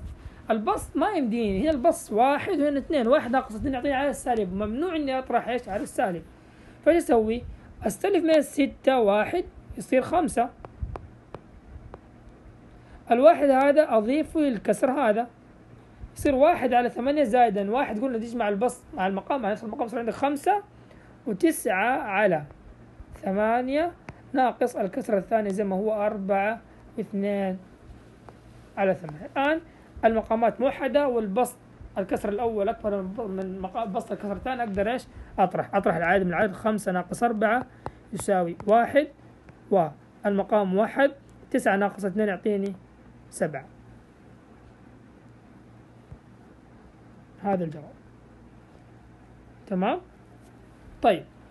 جوليا نيد 3 and 2 over 3 yards. جوليا تحتاج ثلاثة واثنين على ثلاثة ياردة من آه ال tape اللي عندها عشان تخلص الشيء هذا اللي بتسوي ال display شاشة عرض أو شيء زي كذا. شريط يسمى ال tape. Bob brought Bob اشترى لها خمسة وسبعة على ثمانية يارد اشترى لها خمسة وسبعة على ثمانية يارد من من قطعة من آه ال supply room. How much will be left كم كم الكمية التي إيش تركتها؟ ليفت يعني تشوف الفرق. كم عندها وكم إيش تركت. طيب حتسوي؟ حتقول ثلاثة واثنين على ثلاثة ناقص خمسة وسبعة على ثمانية. ثلاثة واثنين على ثلاثة ناقص خمسة وسبعة على ثمانية. صح كذا ولا؟ تأكد بس من الكسور. طيب. أول شيء المقامات ليست موحدة. هذا أول شيء. إيش حتسوي؟ توحد مقامات. يمديك تضرب مثلا هذا المقام في ثلاثة هذا الكسر في في ثلاثة بسطن مقام. تضرب هذا الكسر في ثمانية بسطن مقام. طريقة برضو من طرق إيش؟ التبسيط. أو إيش؟ توحيد مقامات. تضرب بسطا مقام الكسر الأول في مقام الثاني. بسطا تضرب بسط ومقام الكسر. الأول في مقام الثاني والعكس. هذه طريقة سريعة برضو لتوحيد المقامات. الآن إيش يسوي؟ يلا. يساوي ثلاثة اثنين في ثمانية ستة عشر على ثلاثة في ثمانية أربعة وعشرين. تمام؟ ناقص خمسة وسبعة في ثلاثة واحد وعشرين على أربعة وعشرين. المقامات موحدة لكن لاحظ البسط. 16 ناقص 21 ما بدك تطرح عدد كبير ناقص العدد الصغير ناقص عدد كبير. هيطلع سالب فايش تسوي؟ تيجي في الكسر الأول تاخذ من العدد الصحيح هذا واحد يصير اثنين. وتزود واحد على إيش؟ الكسر هذا. لما أقول لك واحد زائدا 16 على 24 أسهل طريقة أن تقوم بعمل التالي. اجمع البسط. لو قلت لك زود واحد وعندك كسر اجمع البسط على المقام مع نفس المقام. 24 زائد 16 كم فيها؟ 24 16 6 زائد 4 10 صفر وفي اليد واحد. 2 زائد واحد ثلاثة واحد أربعة. حيطلع عندك أربعين هذا يساوي أربعين على نفس المقام واضح؟ طيب إيش حتسوي؟ هنا خلاص هنا اثنين زائد واحد ثلاثة خلاص حيكون هذا الكسر يكافئ وبالتالي أربعين على أربعة وعشرين ناقص خمسة واحد وعشرين على أربعة وعشرين. دقيقة أتوقع إنه هنا عكس. لأنه هنا شوف حتى لو تطرح ما يمديك تنقص خمسة ما يمديك. لأنه شوف فهنا الطريقة هنا في في في عكس في السؤال. دقيقة بس. نقرأ السؤال ثاني مرة عشان نفهم الفكرة. هو يقول لي آه هنا لو لو عكسنا حيكون خمسة ناقص اثنين. فاهم. طيب. هنا السؤال عكس. نقرأ. هو قال لي جول يحتاج الثلاثة وثلثين ياردة من إيش؟ من من الشريط اللي عندها عشان تخلص إيش؟ العرض اللي عندها بوب بوب اشترى لها خمسة وسبعة ثمان من غرفة النوم هي هي كم تركت؟ ها شوف السؤال. فهم السؤال نصف الإجابة. هنا يقول لك هو اشترى لها سبعة على ثمانية. وهي من, هذا المقدار كامل استخدمت ثلاثة واثنين على ثلاثة. كم كم اللي بقي؟ فأنت حتقول خمسة. هنا شوف العكس خمسة. وسبعة على ثمانية ناقص ثلاثة واثنين على ثلاثة. فإحنا عكسنا الحل. إذا الحل هذا الحل خطأ. خمسة سبعة على ثمانية ناقص ثلاثة واثنين على ثلاثة. الآن قلنا نضرب بسط المقاومة هنا في ثمانية هنا في ثمانية وهنا تضرب في ثلاثة.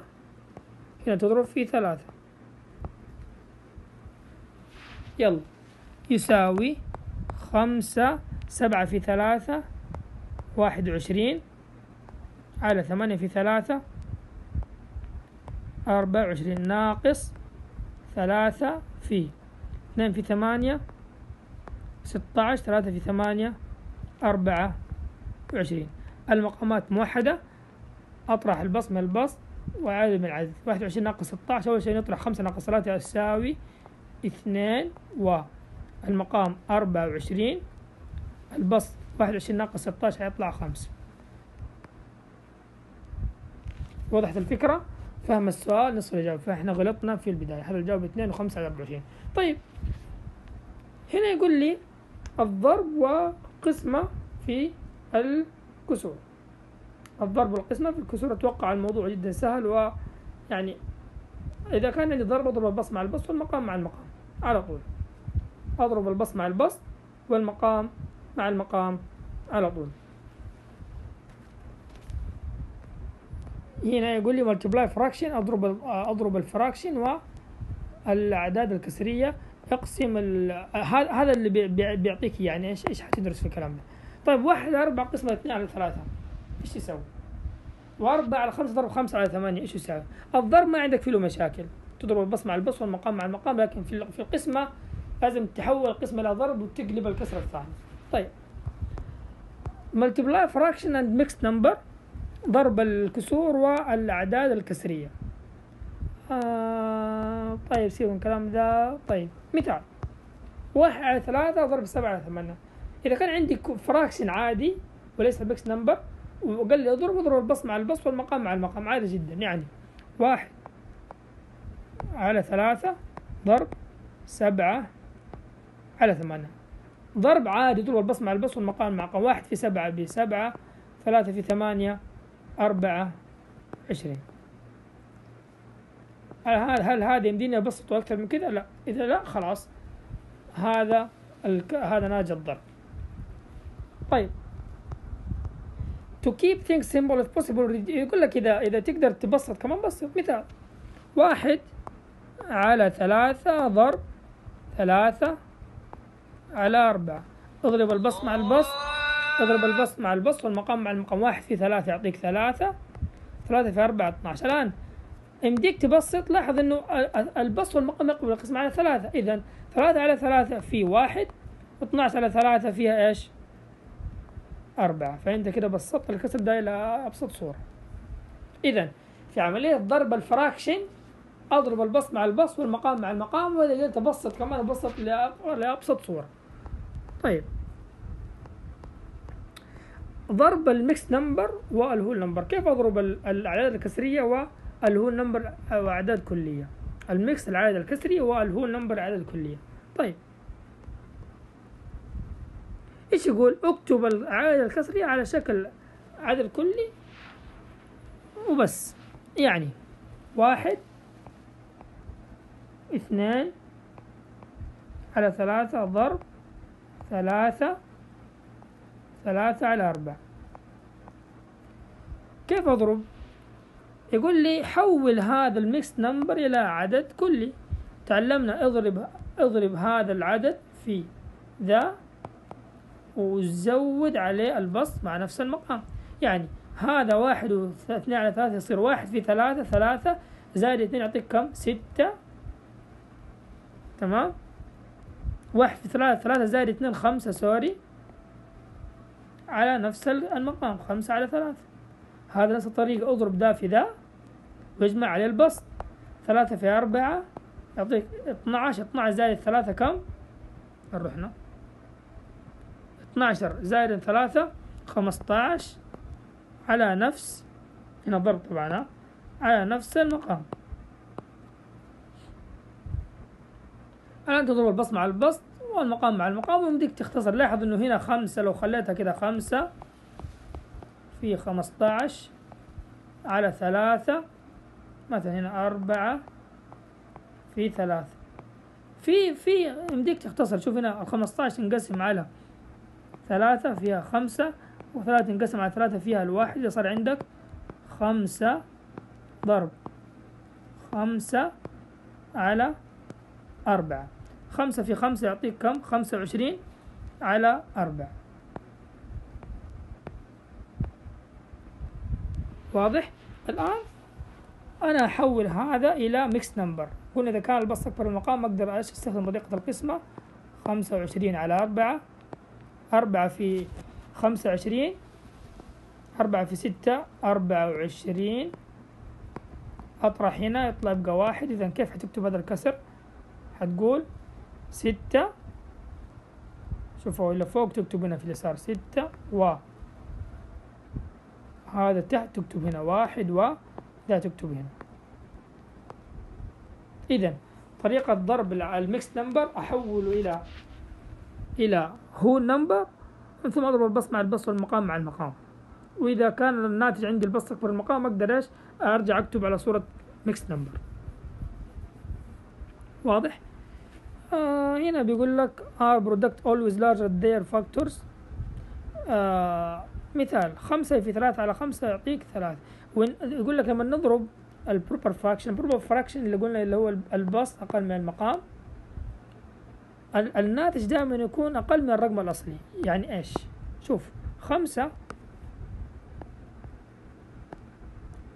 ضرب ثلاثة على خمسة.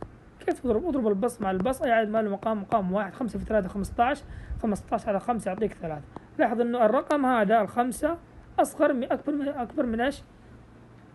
الثلاث اذا لما تضرب دائما الناتج يكون أقل من إيش؟ الرقم اللي تضربه فيه الكسر. واضح؟ بس الكلام اللي بوضح لك إياه. هذا كلام أيضا صحيح إذا كان عندنا آه fraction أو mixed number يعني مثلا اثنين نص ضرب نص. كيف تضرب؟ هذا حوله اضرب ده في ده اضرب العدد في المقام اثنين في اثنين أربعة أضيف عليه البسط يصير كم؟ خمسة على اثنين ضرب نص. اضرب الآن البسط مع البسط يصير خمسة في واحد. خمسة تمام واثنين في اثنين أربعة. هذا لو قسمته خمسة على أربعة يصير أربعة في واحد أربعة وهنا يطلع واحد. كيف حتكتب هذا؟ حيكون عندك واحد وواحد على أربعة. إذا برضو حيكون إيش؟ الكلام صحيح في حالة العدد الكسري والكسرة ضربتهم في بعض. واضح؟ طيب نقف هنا. أو قبل ما نقف هنا نتكلم عن هذه الجزئية إنه إيش؟ فيش اسمه ال reciprocal؟ إيش هو ال reciprocal؟ المعكوس لما أقول لك واحد على اثنين ما هو معكوسه؟ ال reciprocal اقلب البسط مقام المقام بصير اثنين على واحد. اثنين على واحد يعني اثنين. طيب واحد على ثلاثة. ما هو ال reciprocal تبعه ثلاثة؟ واضح؟ طيب. بسم الله بسم الله الرحمن الرحيم. نبدأ في آخر جزئية في هذا ال chapter الذي يتكلم عن divide fraction or mixed number. قسمة الكسور أو الأعداد الكسرية. طيب. آه هنا أمثلة. كيف نقسم؟ كمثال mixed number. ال mixed number قلنا الذي يتكون من عدد صحيح وكسر على fraction. زي طريقة الضرب. لكن أول حاجة ننتبه إنه إيش؟ القسمة هذا تحول إلى ضرب. إذا الخطوة الأولى لحلنا أي سؤال قسمة. أول شيء نحول القسمة إلى ضرب ما ننسى برضو نحول ال mixed number إلى عدد آه كسري يعني fraction ثلاثة وربع قسمة اثنين على ثلاثة. إذا الخطوة الأولى يجب تحويل أي mixed number إلى fraction الخطوة الثانية تحويل القسمة إلى ضرب الخطوة الثالثة قلب الكسر الثاني بسطا ومقاما. يعني قلب البسط مقام والمقام بسط. ثلاثة خطوات. أول شيء الخطوة الأولى نحول ال ال mixed number ال mixed number إلى fraction الخطوة الثانية نغير القسمة ونحولها إلى ضرب القسمة. تتحول إلى ضرب. الخطوة الأخيرة نقلب الكسر الثاني. هذه خطوات القسمة في الكسور وال mixed number طب يلا بسم الله. هذا المثال. قال لي ثلاثة وربع اقسم لي إياه على اثنين اقسم لي إياه اثنين على ثلاثة. اقسم ثلاثة ربع على اثنين على ثلاثة. يلا بسم الله. الخطوة الأولى هذا عدد ميكس لازم يتحول إلى fraction إيش نسوي؟ نضرب هذا العدد الصحيح في المقام ثم نجمعه على البسط مع نفس المقام. إذا ثلاثة ضرب أربعة يعطيني 12 12 زائد واحد يعطيك كم؟ 13 على نفس المقام. القسمة هذه تحول إلى ضرب.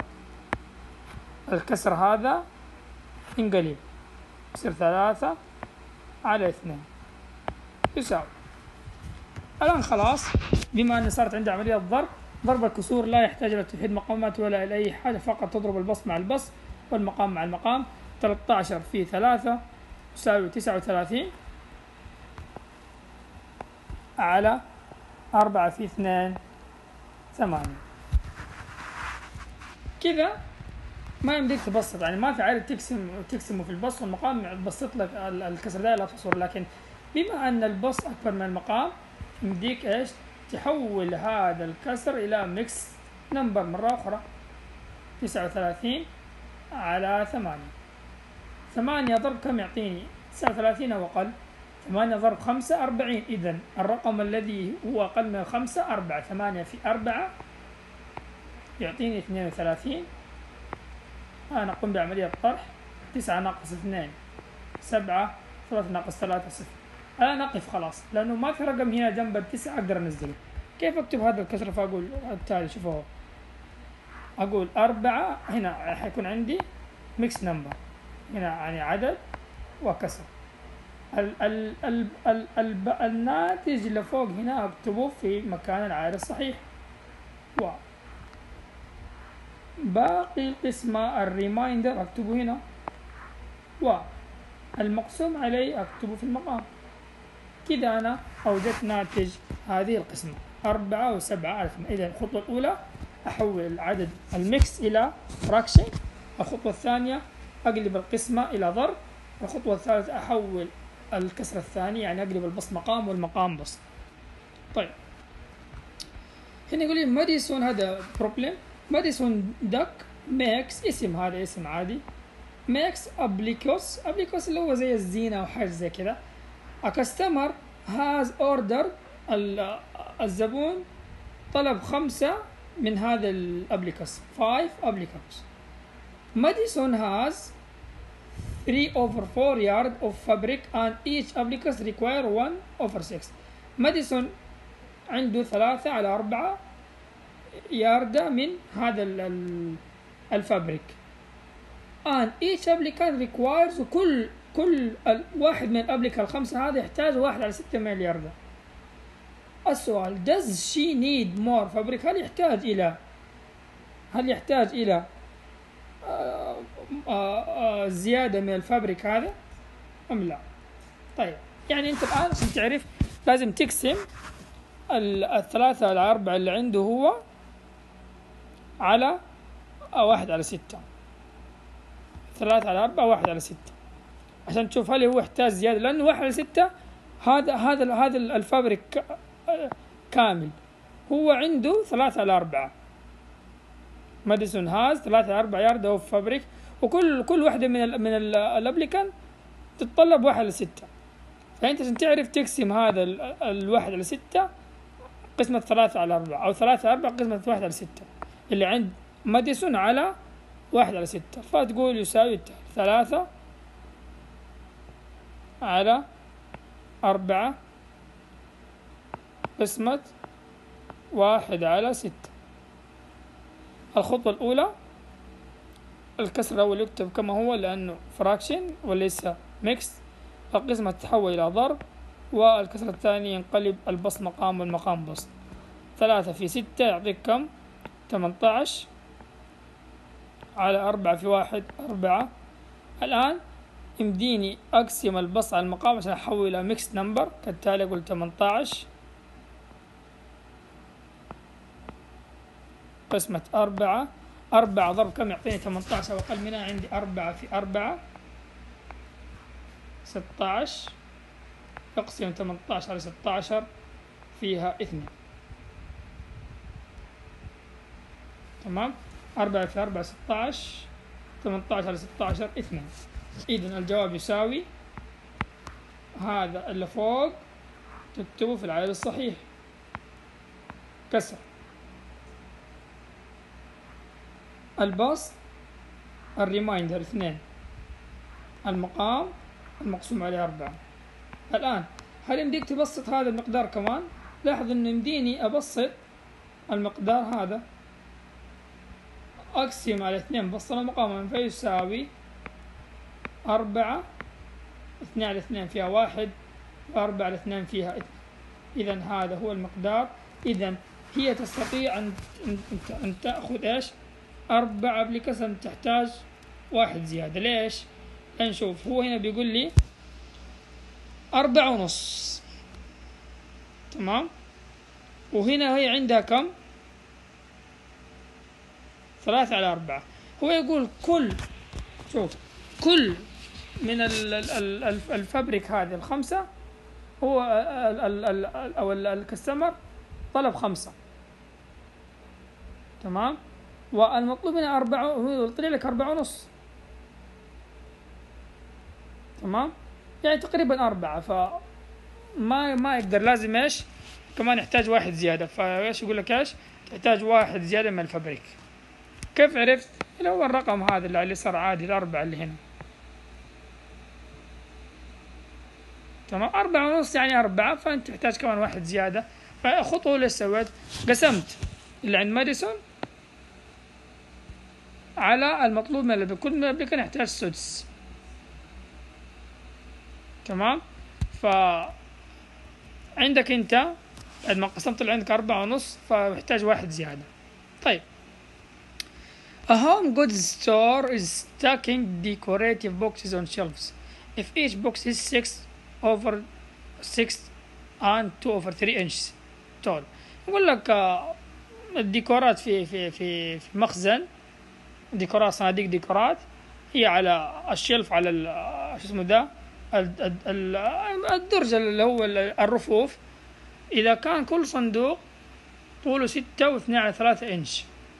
والرف مساحة الرف خمسة وأربعين إنش.